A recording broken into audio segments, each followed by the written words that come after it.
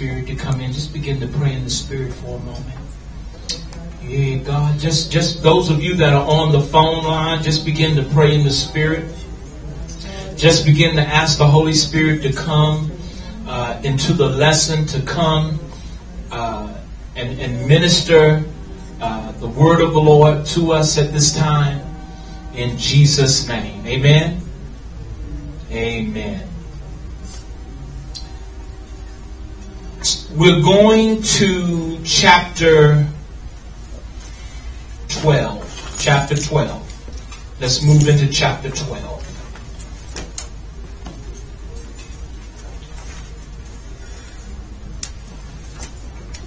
Um, give me a bottle of oil.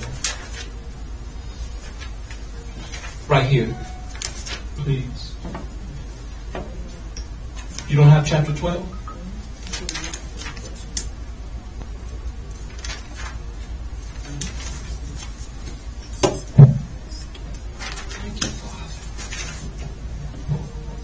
Chapter 12, School of the Prophets, page 54. Understanding the glory. Now, last week we did renewing the mind. So we don't do renewing the mind this week. This week we're going into chapter 12. It says, For for even that which was made glorious had no glory. In this respect, by reason of the glory that excelled. For if that which is done away was glorious, much more that which remained is glorious. So now we're going to get into understanding the glory. Understanding the glory. God has always taken us from glory to glory. Glory rested on all of the former moves of God, such as the glory on the law. But there is a glory that excels these former moves. There was a glory upon the move of God's Spirit in the 50s, the 60s, and the 70s. Certainly there is a glory on the move of God in the 80s. But the glory of the latter house is always much greater than the glory of the former house. The glory that is coming in the 90s is almost upon us, and it will exceed the glory that we experienced in the 80s. I believe that the glories of the 21st century will be even greater than the glory we received in the late 1900s. So when we're talking about the glory, so let's let's kind of look at the glory. When you think about the glory, and you think about uh, the Azusa Street revival, you think about um, Kathryn Kuhlman, Benny Hinn. He has a type of glory in his ministry. Um, when you think about Aimee McPherson, her healing anointing that was a type of glory. In the late 40s and 50s and 60s, you had the evangelistic anointing. Everybody was an evangelist. It was very popular to be an evangelist because God was restoring the fivefold ministry. And then you move from the evangelist into the pastoral ministry in the late 70s.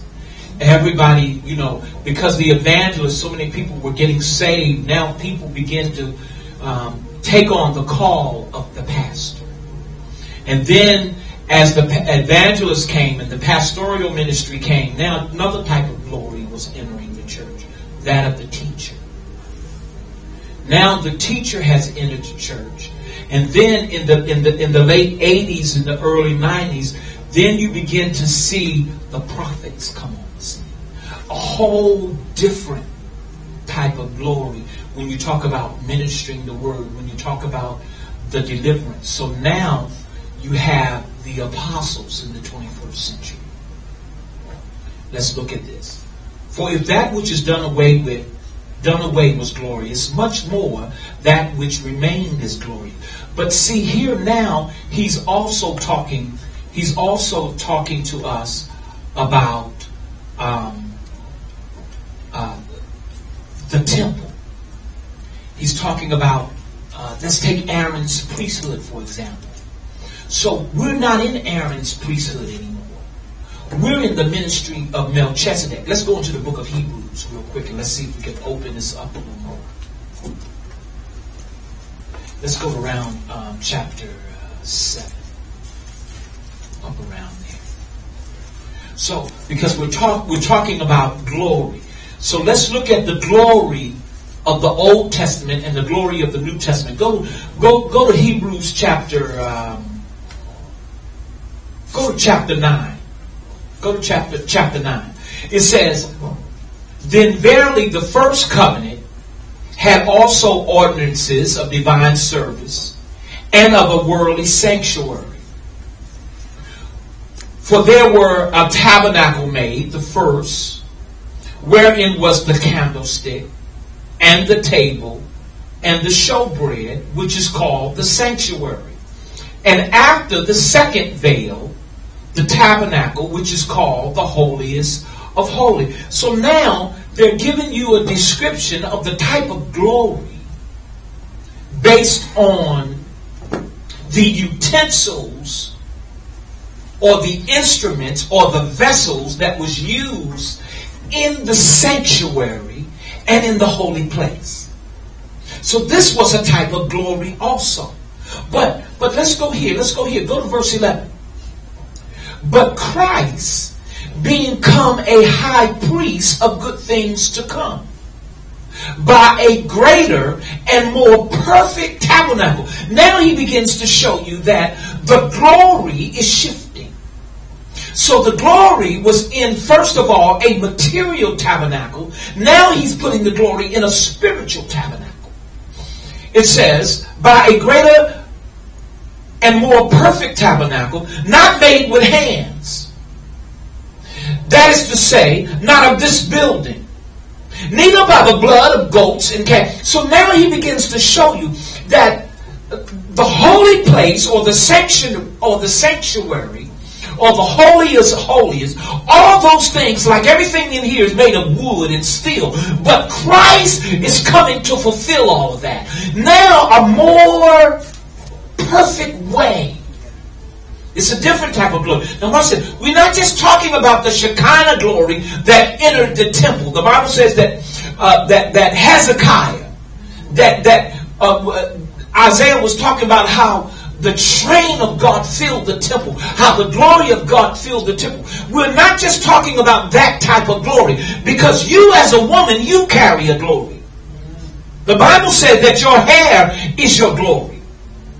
But see, and, and, and then the Bible says that our more uncomely parts are more glorious the parts of the body that cannot be seen, the parts of the body that should be shut up away from people. So that's a type of glory also. So you have to look at yourself and see yourself in the glory. You are glory. You are a type of glory on the earth. Adam was a type of glory before he fell because there was nothing wrong with Adam. There was nothing wrong with the serpent until the devil entered his mind. That tainted the glory and the glory left. So now, go back here. Let's go back to, uh, let's go to verse 6, chapter 6. Therefore, leaving the principles of the doctrine, let us go on to perfection. This is where we're moving in the Melchizedek priesthood. This is where we're moving in this type of glory. When Melchizedek showed up to Abraham, he brought a type of glory that was called wealth. There was wealth in, in, in, in the meal that he had. There was wealth in the words that he spoke. There was glory in the meal, and there was glory in the words that you speak. There's glory. There was a glory release. The Bible says that Elijah says, "Send for me a minstrel." When that minstrel played, it was a type of anointing, and because it was a type of anointing, it was a type of glory. And when that glory filled the temple, a devil was cast out, and Elijah prophesied. But when David played, a, day, a, a devil was cast out of Saul. So let's let, let, let's go back. Verse 13, chapter 6. For when God made a promise to Abraham, because he could not swear by no greater, he swore by himself. That's a type of glory. A type of glory that says, because I'm speaking this word, it'll never be changed. And that's something about the church. That's a type of glory that the people don't even realize. That's why a lot of people, we, we, we suffer under poverty because we don't embrace the blessing of Abraham. the blessing of Abraham is not just a spiritual blessing, it's an economical blessing. It's a financial blessing. And we don't want to take that on. The church don't want to take that on. But let me tell you something. Watch this. The church was never supposed to be non-profit. The church was supposed to be for profit because even Jesus told Peter, go down to the lake and get the fish and pay your taxes. He never tried not to pay taxes. And so, watch this. Go to, go to chapter 7. For this Melchizedek, king of Salem, prince of the Most High God, who met Abraham returning from the slaughter of the kings and blessed him. When did Abraham get blessed? Not until after he come out of the fight. And when you come out of your warfare is when you get your greatest victory. When you come out of a season of war, when you've been in a tough season, when you've been in a tough spot, when things are not going the way you're coming out, God is going to reward you. And what God did for Abraham was brought him a king that represented him. In other words, God showed up in the form of Melchizedek. Wow. Let's go back to the book. Let's go back to the book. Let's go back to the book. It says, um, we're going to Second Corinthians chapter 3, and we're going to go to um, verse 11. Let's go to verse 11. 2 Corinthians chapter 3 and verse 11.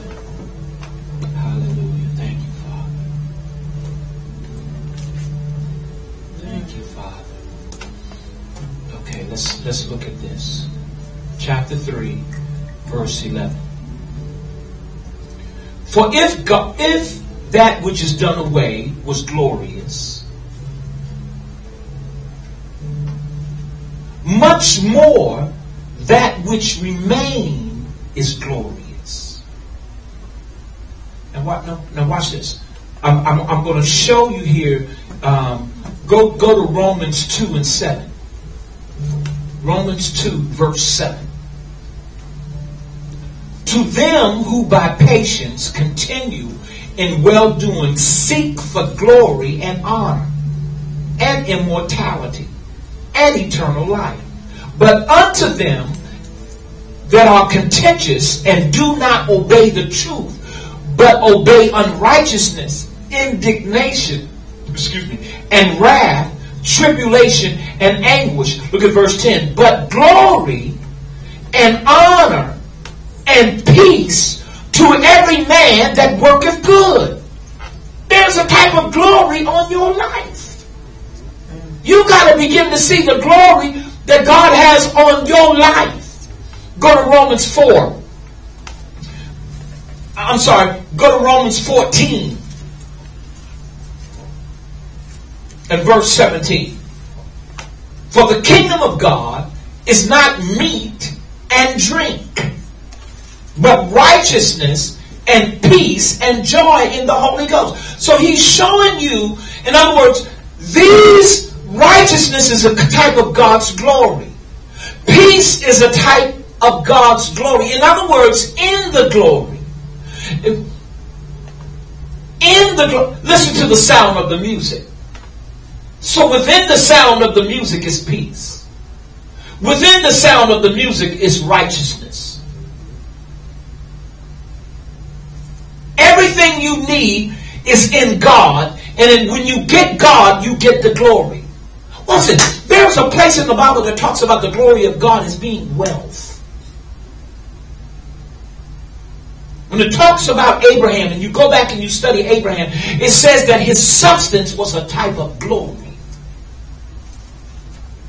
So wealth is a type of glory. Watch it. Let me see.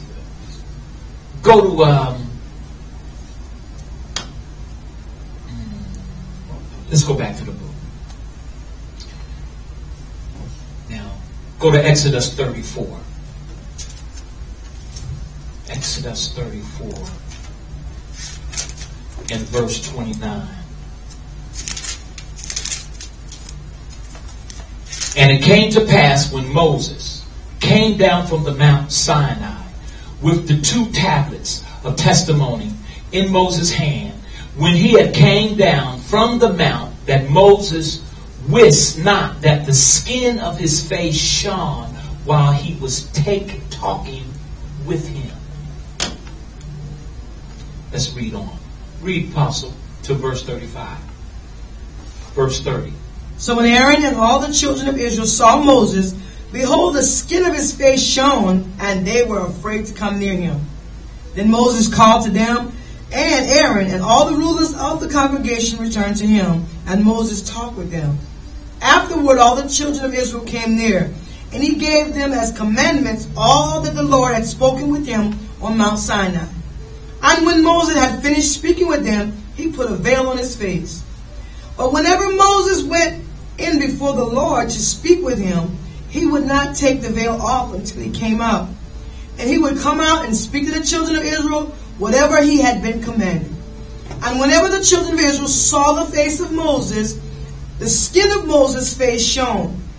Then Moses would put on the veil on his face again until he went in to speak with him. And watch, this is a type of glory that was on Moses. Why was that glory there? Because he had spent time with God. And the more time you spend with God, the greater that anointing comes on your life. You know, when my wife and I first got married, for our first four years, we used to go to Nassau to Myles Munroe's conferences, right? Eight hours a day, from nine o'clock until five.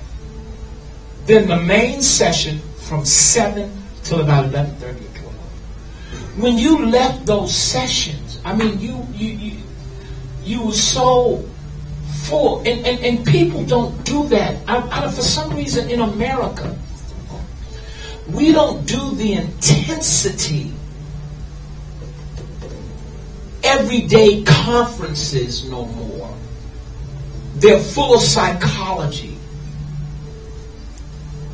I mean, so when you sit in this session for three hours, there's an invisible impartation that is penetrating your heart and penetrating your mind and penetrating your spirit. It's not about the hype. It's not about all the time trying to be excited. When them guys would sit down and teach, sometimes um, I, I'd be dozing off. And, and, and, I mean, and you couldn't go nowhere because you stuck on an island. And his church was out in the middle of the island, so it wasn't no such thing as, okay, I'm going across the street to the store. You got to sit there and take that impartation. And when you have 60 nations sitting there in that conference, people that flew 10,000 miles, 5,000 miles. You think they want to be getting up, going get a soda? I'm trying to show you their passion. These people were serious. And so they could sit there all day and not eat nothing, but they would be so full from the word. His conference this year is over 300 and some dollars. They got one person from Dallas, one apostle from Dallas that's been with him about maybe 15 years now, Daryl Wilson out of Fort Worth. He's the only guest speaker that's on that roster. He stayed with Munroe. But I'm trying to show you how, how that glory comes on you. Let's go back to the book. In Scripture, and we just read Exodus, some artists shows, read Apostle. Some artists. Some artists show horns coming out of Moses' head when he had gone this into this glorious countenance. People generally picture the devil with horns, but this should not be. In Scripture, horns denote anointing and Satan lost the anointing. Whenever a beast has a horn in the scripture, it typifies a false anointing or a false glory. Other artists have drawn Moses' picture with a halo around his head. They saw glory as a light that settled upon him. But when you go into the book of Psalms, um, watch this. Let me let me show you the scripture real quick. It's in Psalm. Go to Psalms 91. Psalms 91. Psalms, wait, is it 90 or 90? Let's see. Psalms 92. Listen to what it says. It says, but in verse 10, those of you on the line, can you hear clearly? Psalms 92, verse 10. But my horn shall you exalt like the horn of a unicorn. I shall be anointed with fresh oil. So when you saw a person with horns, or you depict in, in, in these movies that they have people that have horns, they're satanic. But rep, the horns represented the anointing. And here's another reason. The horns represented the anointing because here's the difference between Saul's anointing and David's anointing. Saul, this is a glass. When Samuel went to Saul, it is said that he was anointed with a flaccid. A flaccid is something made by hand, material. But when you study the anointing of David, it says that David was anointed with a horn of oil, meaning that that horn had to come from a dead sacrificial animal, showing the sacrifice that David would have to make in his life, where Samuel made no sacrifice.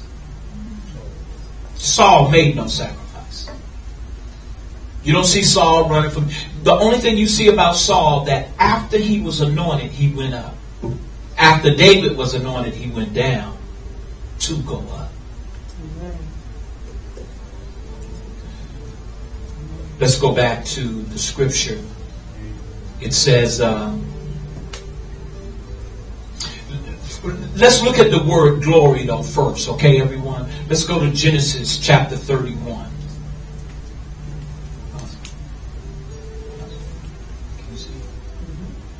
So we're going to go to Genesis 31. And he heard the words of Laban's son, saying, Jacob had taken away all that was our father's, and of that which was our father's had he gotten all his glory. Look at, look at how glory is considered wealth.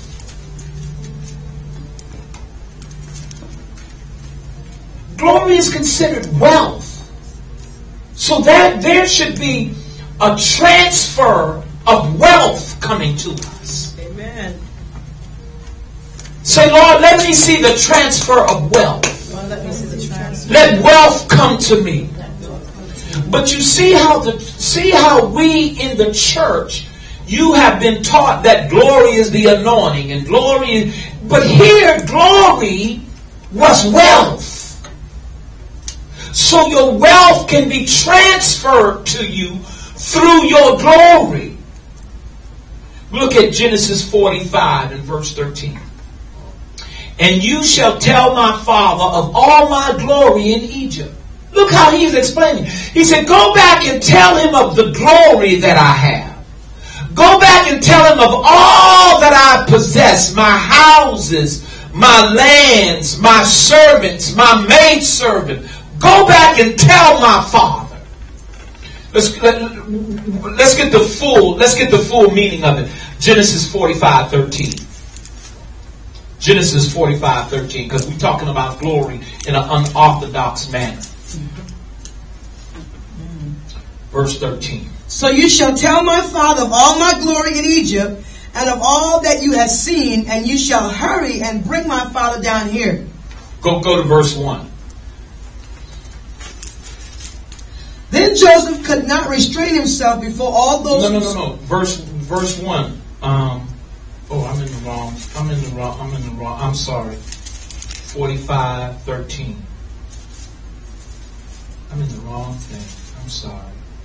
45, 13. Go to, go to um, for, Genesis 43 and 1. 43 and 1. Now the famine was severe in the land, and it came to pass when they had eaten up all the grain which they had brought from Egypt, that their father said to them, Go back, buy us a little food. But Judah spoke to him, saying, The man solemnly warned us, saying, You shall not see my face unless your brother is with you. If you send our brother with us, we will go down and buy you food. But if you will not send him, we will not go down. For the man said to us, You shall not see my face unless your brother is with you. So here it is, a famine in the land. Now let's go back to 45. The brothers are in a famine. But look what happened when Joseph showed up. Start at verse 1. Then Joseph could not restrain himself before all those who stood by him, and he cried out, Make everyone go out from me. So no one stood with him while Joseph made himself known to his brothers. And he wept aloud, and the Egyptians and the house of Pharaoh heard it. Then Joseph said to his brothers, I am Joseph. Does my father still live? But his brothers could not answer him, for they were dismayed in his presence. And Joseph said to his brother, Please come near me. So they came near. Then he said, I am Joseph, your brother, whom you sold into Egypt. But now do not therefore be grieved or angry with yourself because you sold me here. For God sent me before you to preserve life. Then see, now watch this. Now he's in charge. He's second in command to Pharaoh. And in verse 13, he said, And you shall tell my father of my glory. So glory comes with responsibility. When you have responsibility, you have glory. Amen. And most of the time, when you have responsibility, you have also some wealth coming to you. Say, get on top and stay on top.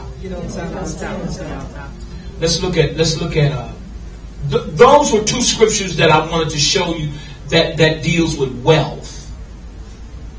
Because you you you, I know that we go to church and we're looking for a special anointing in the church. We're looking for the power of the fall. Well, why can't you look for the uh, transfer of wealth? Go back to Genesis 31. Genesis 31. Because this is a wealth transfer. When that glory is, let's say, Lord, transfer the wealth to me. I can't hear nothing. Are you guys on the line? Okay, are you with us on Genesis? Okay, so we're going to Genesis 31.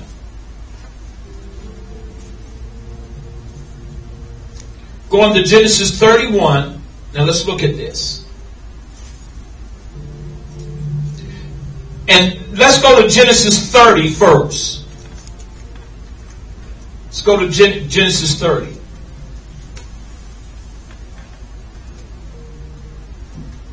And let's start at um, start at verse 25, Apostle. And it came to pass when Rachel had borne Joseph that Jacob said to Laban, Send me away that I might go to my own place and to my country. Give me my wives and my children for whom I have served you, and let me go, for you know my service which I have done for you. And Laban said to him, Please stay, if I found favor in your eyes, for I have learned by experience that the Lord has blessed me for your sake. Now, now notice how when the glory is on you, that that glory is so heavily upon you that God bless other people because of you. So what you got to ask yourself, who is blessed because of me? That anointing that's in your life, you can't take your life for granted. And because we struggle in life, or because we have hard time in life, or because we have difficulties, or because we have challenges, it doesn't mean that you, the glory of God isn't on you. And so what you have to do is begin to appreciate yourself. Watch this. Verse 30. For what you had been before I came was little, and it has increased to a great amount. The Lord has blessed you since my coming. And now, when shall I also provide for my own house?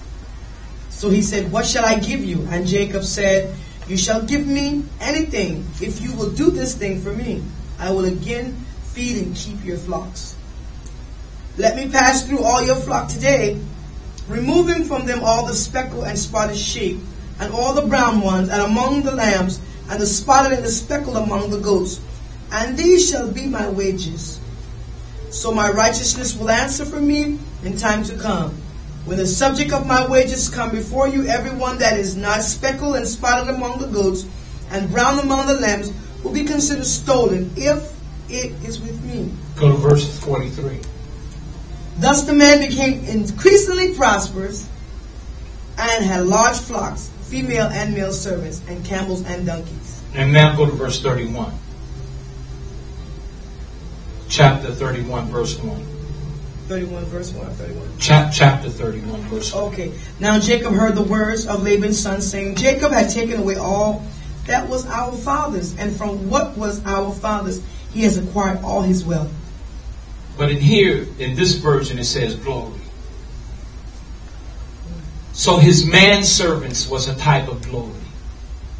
So, in other words, this is now now this is this is something in School of the Prophets that you you gotta say invisible form. Okay.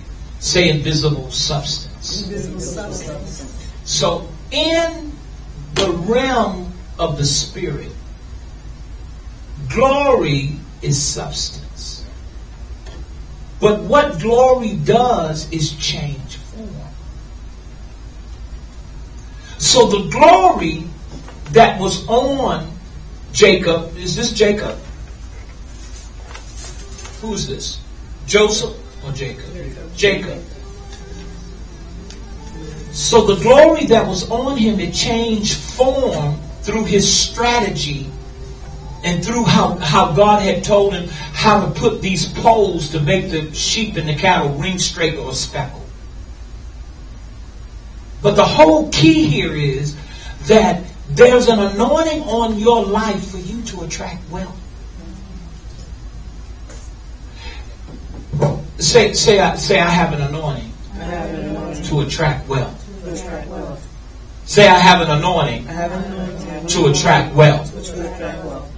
Say wealth come to me. Wealth come to me. Say loud. Wealth come to me. Wealth come to me. Wealth come to me. Wealth come to me.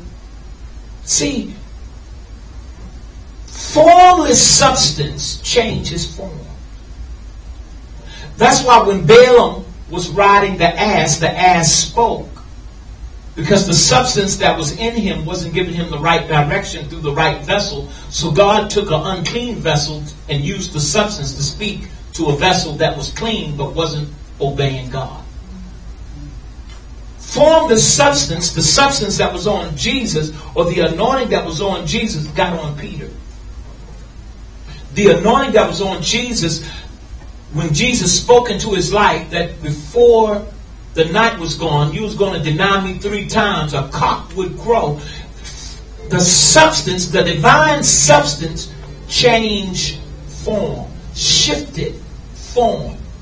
Remember, when we first started the School of the Prophets, we talked about uh, transplumal migration, meaning that the transfer of the anointing into another destination. Trans, to transform, plumber, wind, breath, migration, to take up residence. So, when we are speaking the word to you over the microphone, there is a trans pluma migration where the anointing and the Holy uh, the anointing, the Holy Spirit, the interpretation of the Spirit is leaving the desk or leaving the throne room of God and resting on you. Trans pluma migration. It's taking up residence in you. And so just because you are sitting there and you may feel tired or you may feel bored, don't mean that the anointing isn't getting on you.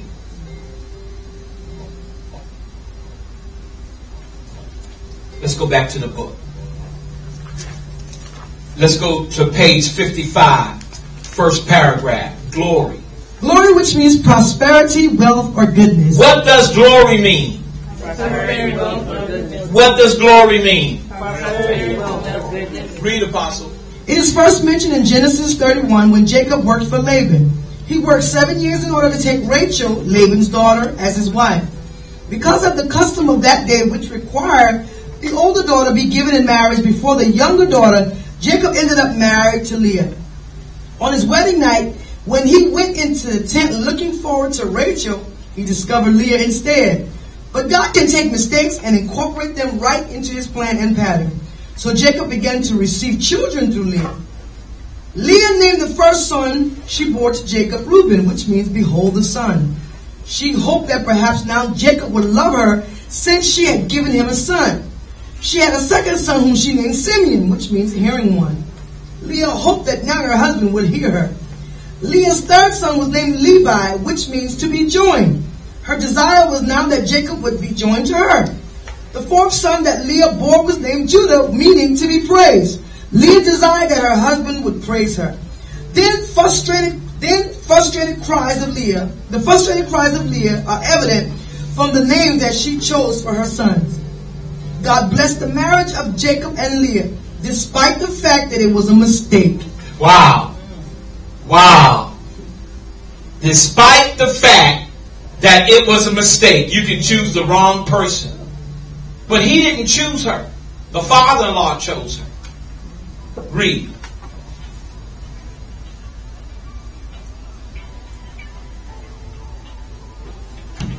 So, no, go, go ahead.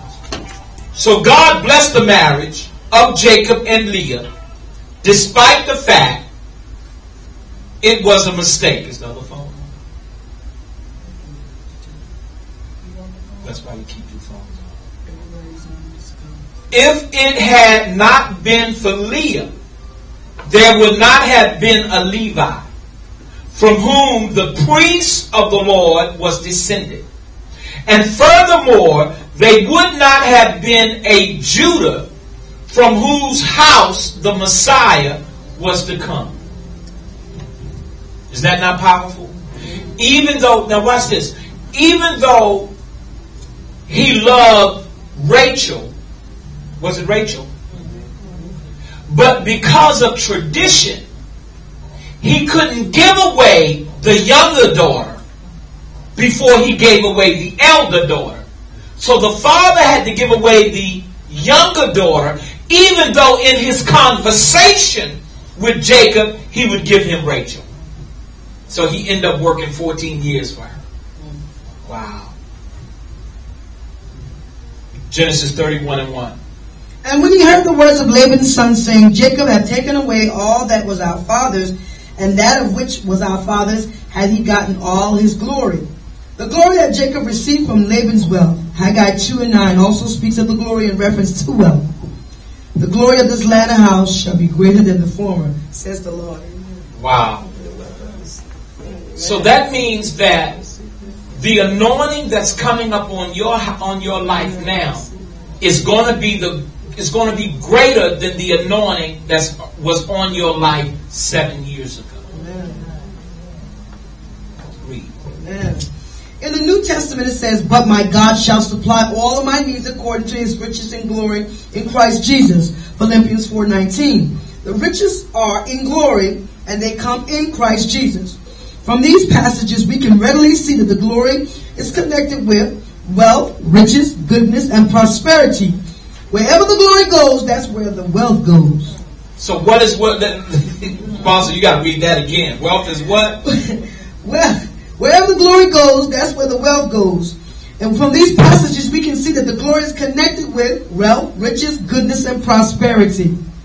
Wealth, riches, goodness, mm-hmm. and prosperity.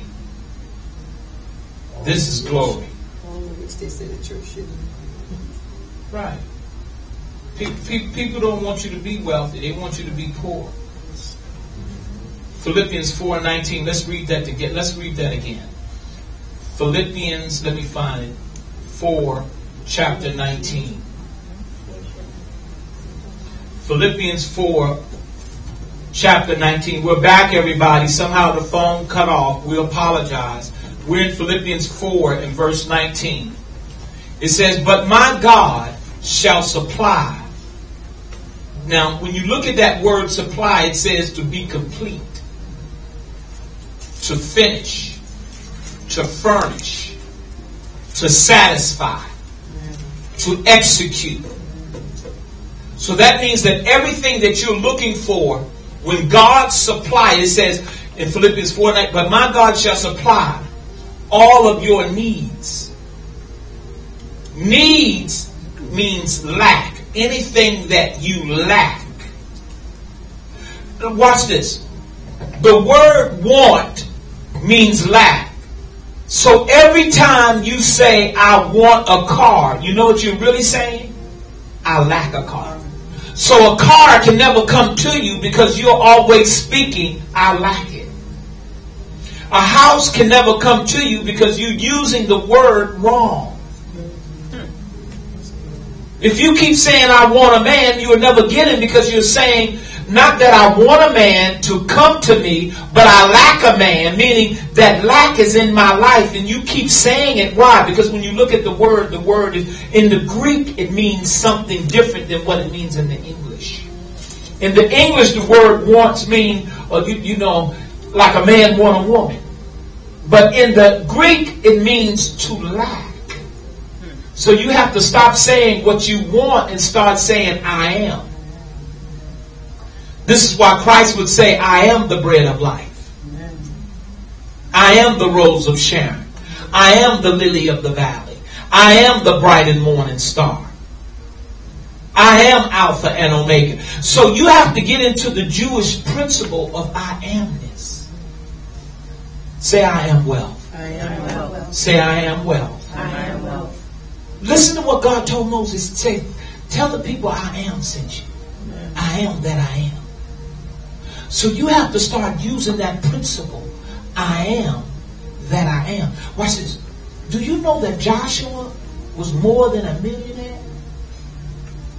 Do you know that Moses was more than a millionaire?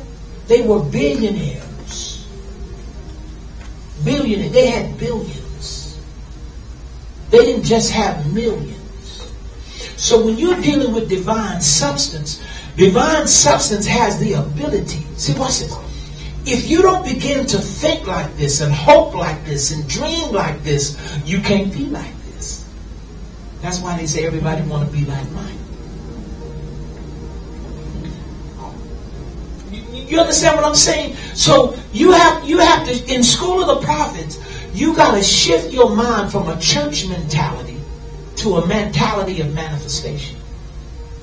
See, in school of the prophets, you got to shift your mind from saying what you don't have to speaking forth what you desire, even though you don't get it right away. In other words, it's a constant warfare to determine that I'm going to get on top and stay on top. Say, I'm going to get on top and stay on top. Look at Kenneth Copeland. He got on top and he stayed on top. Look at Rod Parsley. He got on top and he stayed on top. Look at Bishop Jake. Since 1995, since when, when TBN saw that seven minute clip of him, he got on top and he stayed on top.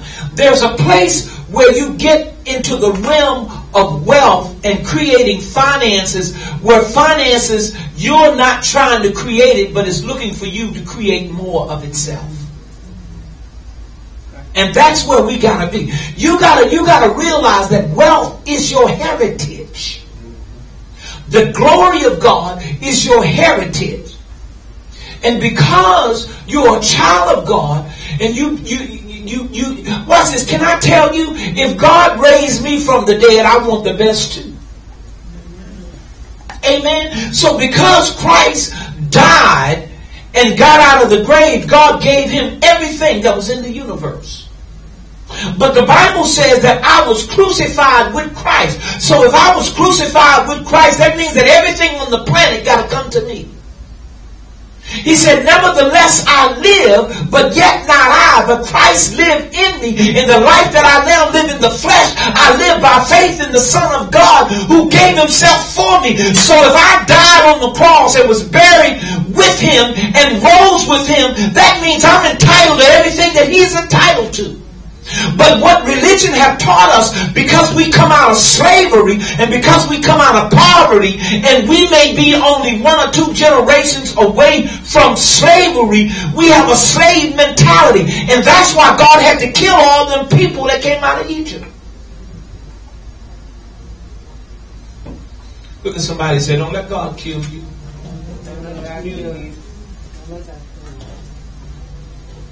God killed all them people because of their unbelief.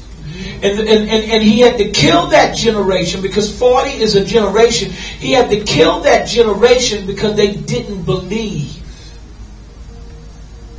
You gotta, we gotta believe that He can do exceeding abundantly above all that we may ask. We just gotta, we gotta stop quoting the Scripture and start going after the stuff we want.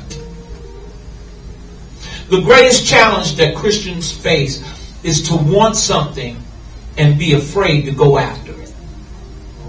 That's a hindrance.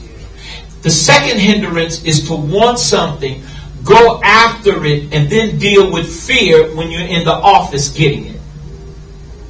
Because everybody is trying to say no to you. The third obstacle is to want something, sit in the office and get it, and then don't believe that God can keep it paid for. And so that fear comes up on you. And because you manifest that fear, the unbelief or the lack comes back into your life after you don't release your faith. Watch. Let's let's look at this. Let's let's let's look at this.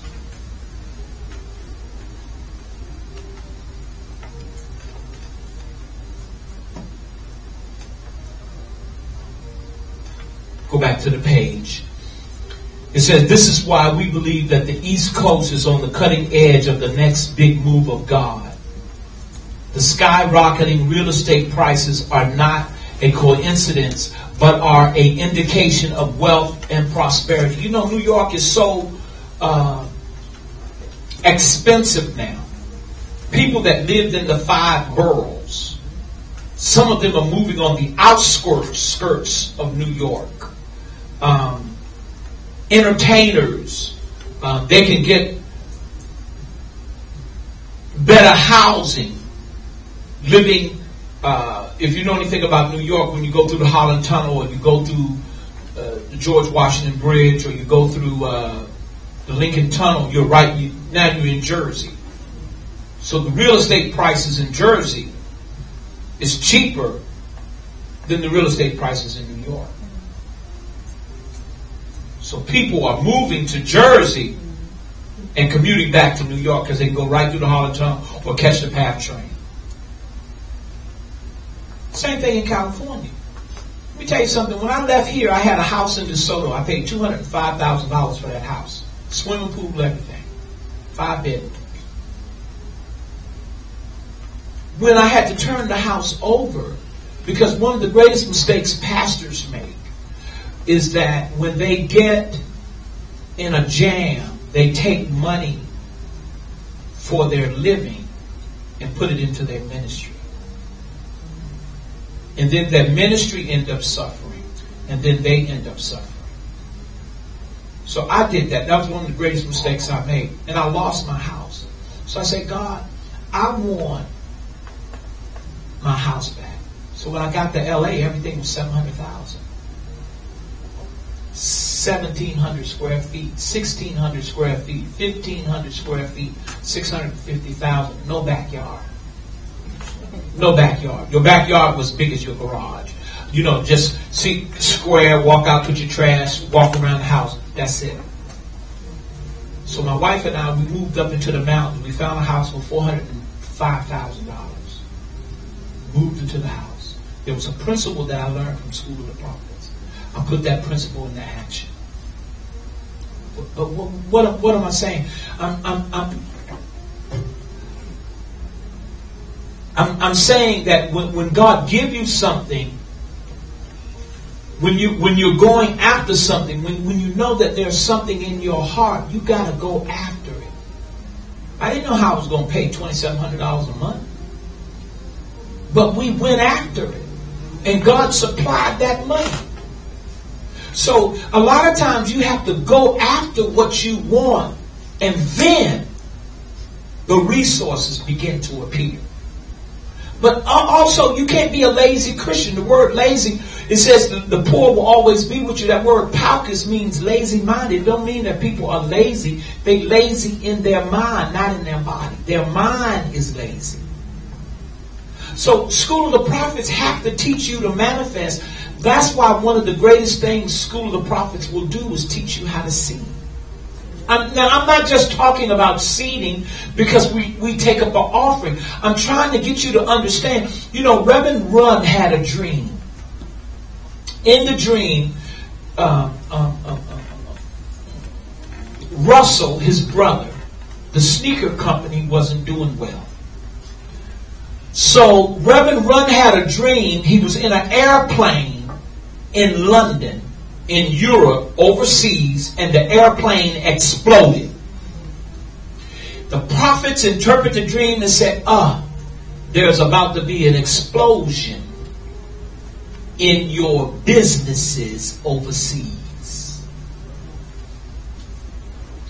The shoe company in less than three years went to making $100 million a year. Something like that he was sowing seed. Run DMC was broke. Run DMC didn't have no money until they came, they started tapping into the prophetic.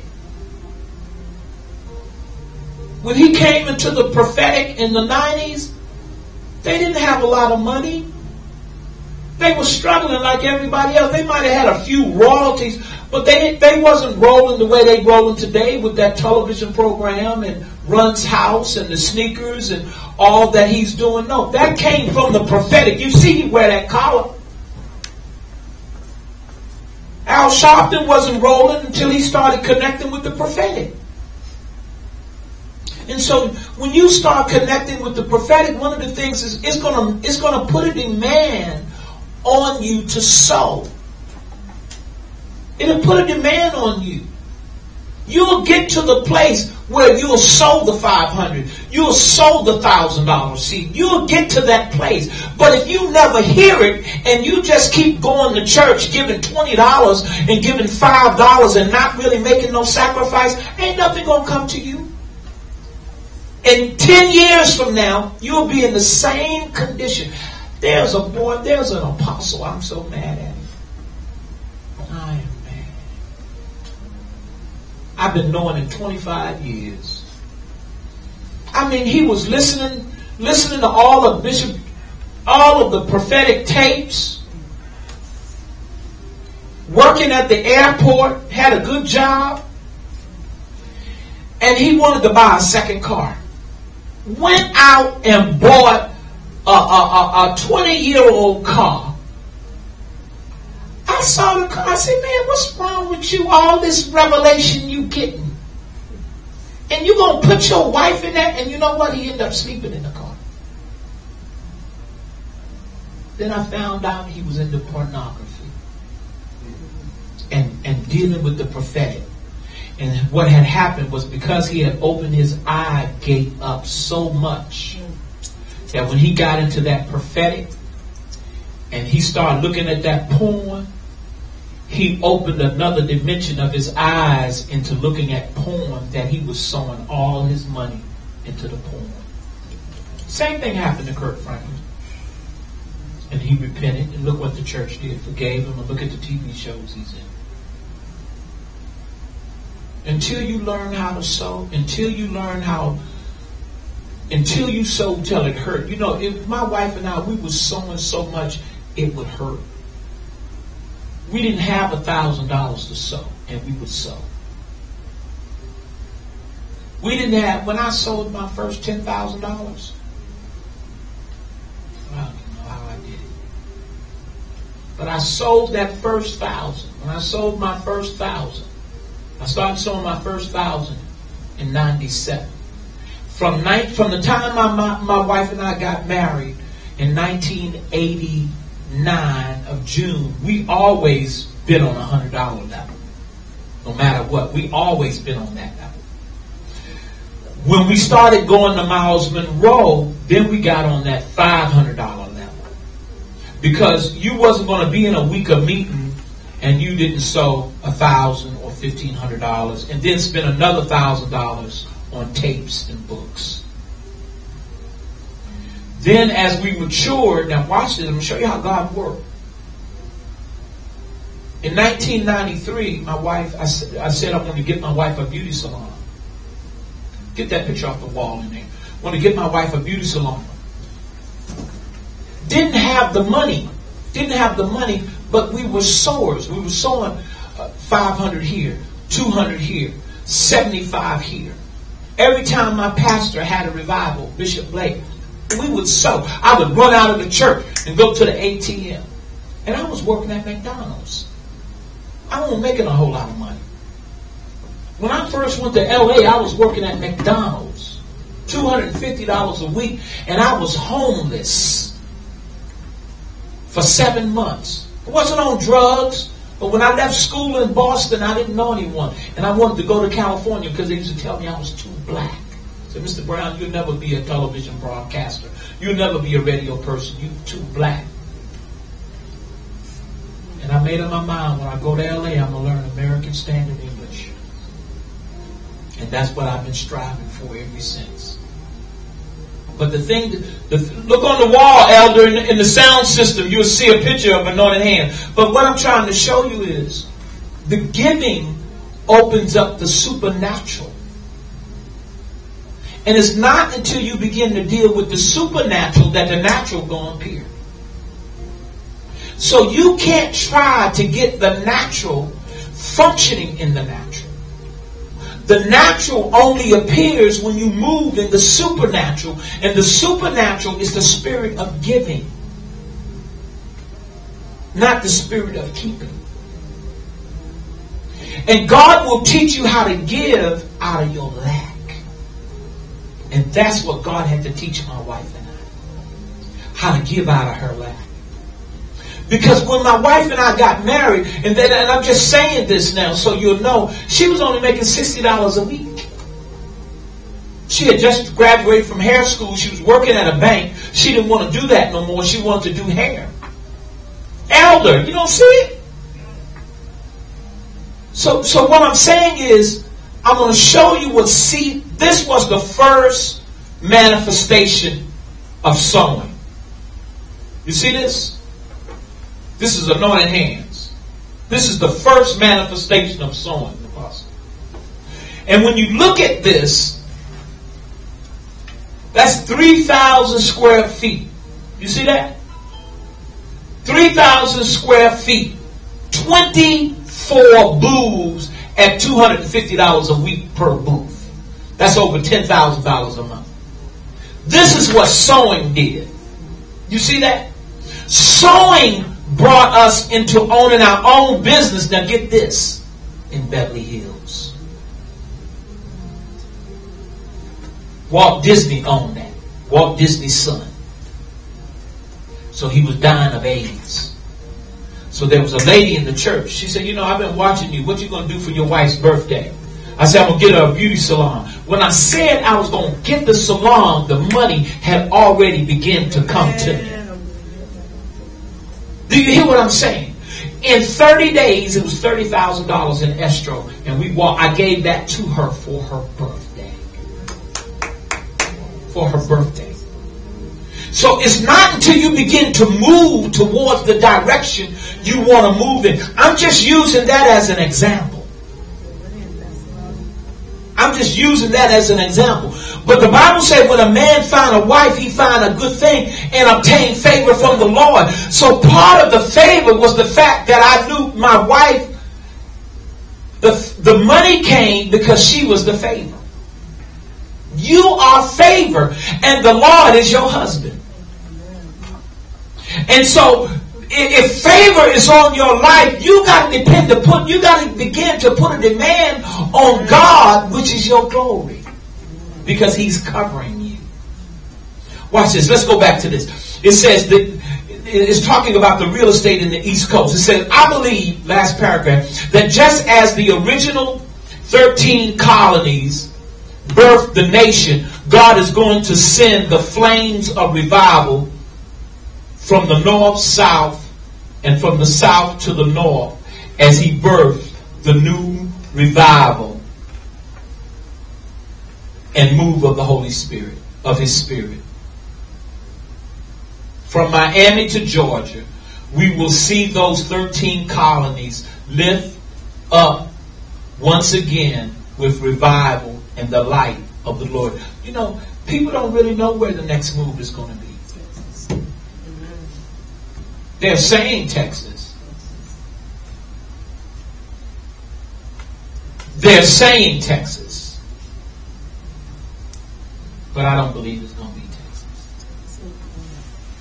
And the reason I don't believe it's going to be Texas because Texas has to repent for what they knew about Medgar Edwards, for what they knew about Martin Luther King, for what they knew about John F. Kennedy for what they knew about the Indians that lived on the Trinity River. We don't know where the next move of God is going to come, but it's going to be as a mighty rushing wind. I told the church Sunday, I said, God has to raise up black women. No offense. But there's, we have the Joyce Meyers of the day. We have the Marilyn Hickeys of the day, but where are the women of color? Where are the minority women? Where are the Hispanic women? Why we why we don't have the big TV shows? So your glory is connected to your wealth. So when you consider glory from now on, just don't look at it from the church point of view as spirit. Somebody speaking in tongues or somebody banging on some instrument. Look at your glory in terms of how much wealth can you accumulate. That means your glory is the car you drive. Your glory is the house. Your glory is your children. Your glory is your family. Your glory is your manservant, your maidservant. You have to start accumulating things in your life. Don't stop accumulating. Lift your hands and say, Father, I lift my hands down. And I thank you for a new transfer of wealth. Glory, come on my life right now. Increase my life right now. In the name of Jesus. I just, come on, just just just open your hands up and let the anointing of wealth, let the the transfer of the anointing, let it come to your hands. Those of you that are on the phone, lift up your hands and say, Lord, anoint let, let there be an anointing of wealth on my hands. Let there be another type of glory on my life. Hallelujah. Let the glory come. Let the glory come in Jesus' name. When you are in prayer this week, just say, Lord, let there be a transfer of wealth to me. Listen, you you you can't always work every day. You gotta be you gotta believe for the supernatural. You gotta believe that that that the supernatural can come, that the supernatural can manifest in your life. Hallelujah. You gotta believe that. You gotta believe that. Let's go to chapter 24. I'm not gonna take a break yet. Chapter 24.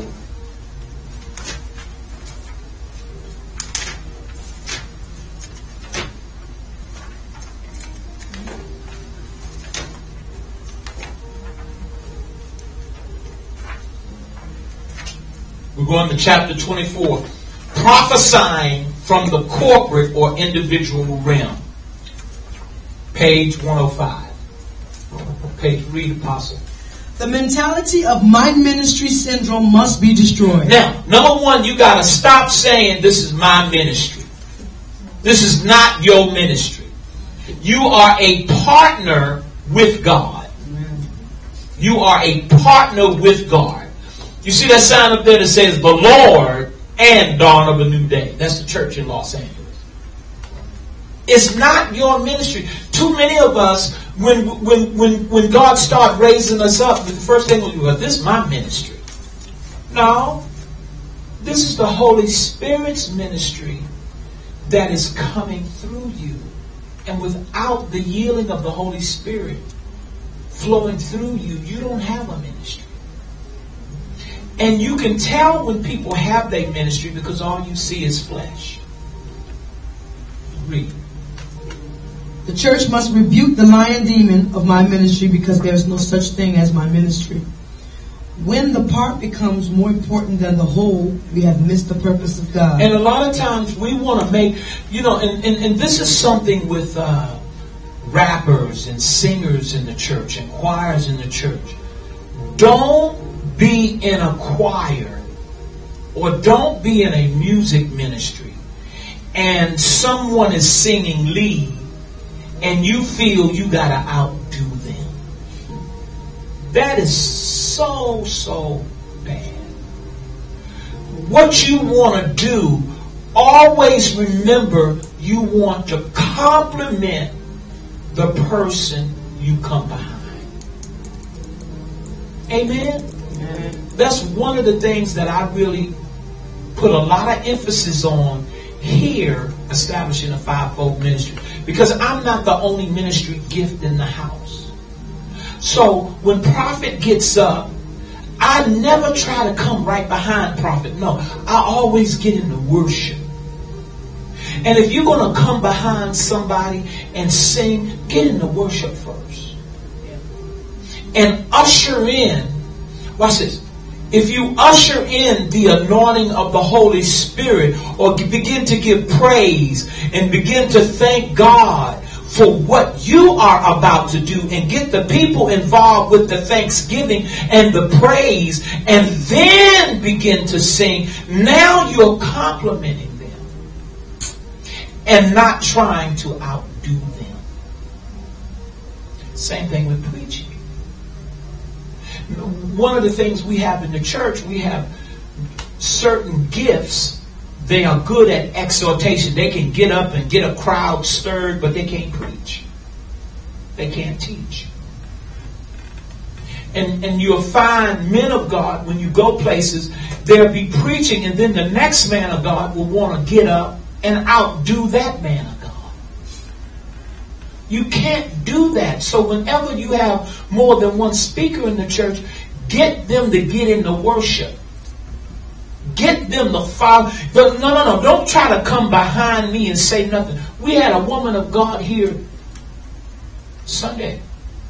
She spoke such an awesome word.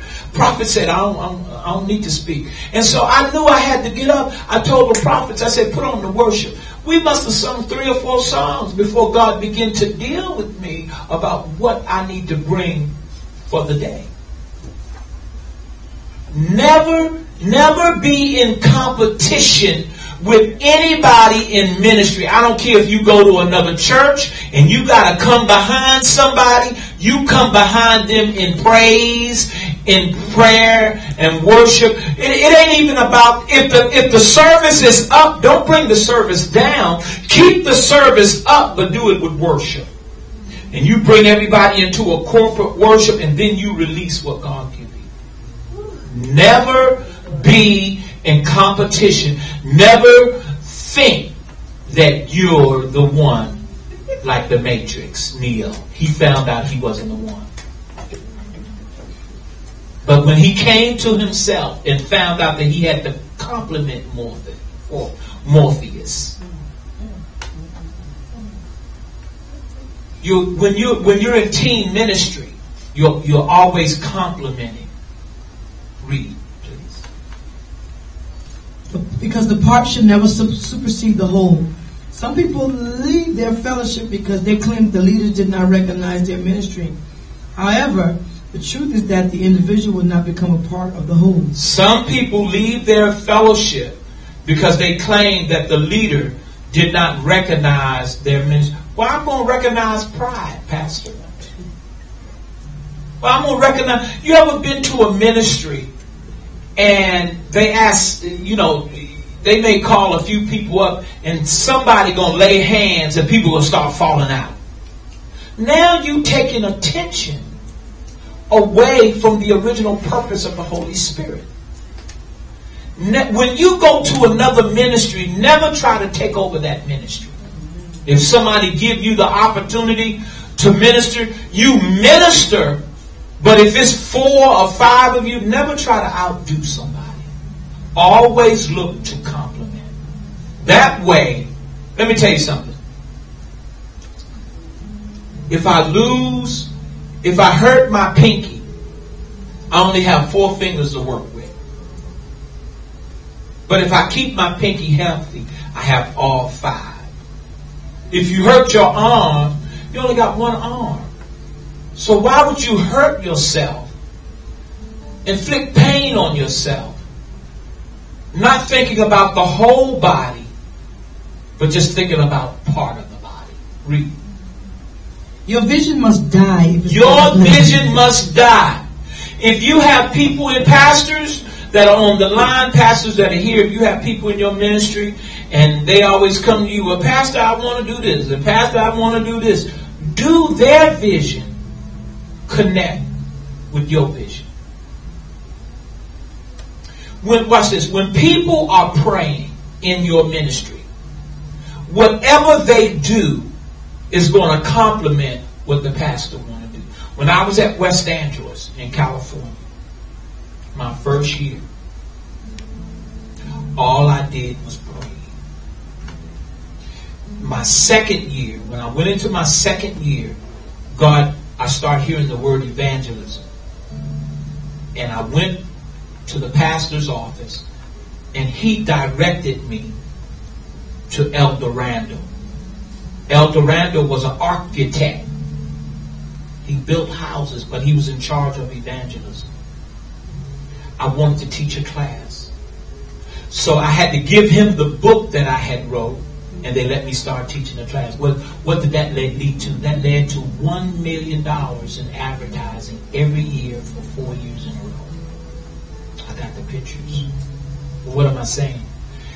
Prayer those of you that are on the worship team, those of you that are with Apostle Monica, those of you that are with Apostle Lawless, when you're in prayer, God is not going to give you a different vision from the vision of the head. And if you get a different vision from the vision of the head, something wrong with your head. Because God is not going to talk to the body before he talked to the head. That's out of order. So what, whenever some, whenever somebody is in intercession and they come up with an idea, that idea should coincide with that ministry. You cannot have two visions unless there is a division. That's why people leave ministries because they don't fully get the vision of the ministry or they start complaining about the ministry or they think the ministry ain't growing. A lot of times the ministry is not growing because it's not your season to grow because if any more people come in, you so stupid, you you you to run them out. You're just talking in general. But what we got to realize is that when God want to pour into a specific group, God trying to pour something into you that make you better than the elders that you meet. That make you better than the pastors that you meet. That make you better than the evangelists that you meet. That God is trying to pour something into you that bring you on a level under your apostle where you can complement your apostle in leadership and not just in partnership and membership. Because if you can't grow in leadership, you can't grow. And a lot of people in church never grow in leadership. They grow in membership. Leadership bring you the responsibility. You gotta take the weight. You gotta be on time. If she say, meet me in Alabama, don't ask her how, get there. When you are part of a team, God will, if God bless her, He blessing you. When you are part of a team, God would rather make love to a whole family than an individual. If you don't believe me, how many kids you got? Me? One. Do, don't God love you and your kid? How many kids you have? Three. Don't God love you and your God, God want to raise up a team. God just didn't raise up Jesus. He raised up 12 men. 13 with Judas. And then he sent out another 70. God want to raise a 21st century apostleship demands team ministry. Got to have your pastors back. You got to have your apostles back. Read. If your dream ta- are take to, to life, you must first work on the dream of others. You say that again. If your dreams are to take life, you must first work on the dream of others. Joseph the dreamer had to work on the dreams of other men before his own dreams came to fruition. Your dreams must die so that others may live. Joseph dreamed, but look at look at what he had to do. He had to work on Potiphar's dream. He had to work on the butler's dream. He had to work on the baker's dream. He had to interpret Pharaoh's dream. Whose dream are you interpreting? Whose dream are you working on? Let me tell you something. I'm going to tell you this. I worked at West Angeles seven days a week. I was treated like I was on staff and wasn't. But before I was treated like I was on staff, when I was a nobody, when I came off a skid row, when I didn't have no money, when I was working at McDonald's, I was at the church every day. My wife would ask me, why are you at the church so much? I was in I still am in love with Him. The only difference, I'm not teaching evangelism now, I'm teaching school of the prophets. But I still teach evangelism. I worked on Bishop Blake's dream. And when God gave me that, that prayer life for one year and he gave me evangelism, you know what I found out? That evangelism was the heart And so out of all those people that was there before me, I had his heart. God will give you your man of God's heart. God will give you your man of God's desires. Your woman of God. You got to love your woman of God as if she's a man. David says that he loved Jonathan the way a man loves a woman. That's the way you fall in love with your man of God, your woman of God. Then you gotta love them. You gotta love them in their weakness. Love them in their bad breath. Love them when they ain't dressed properly. That's real love. If you can't love me when I'm low, I don't need you to love me when I'm up.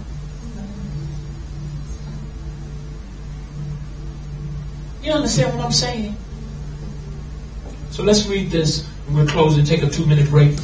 And the time, let's read this questions true or false.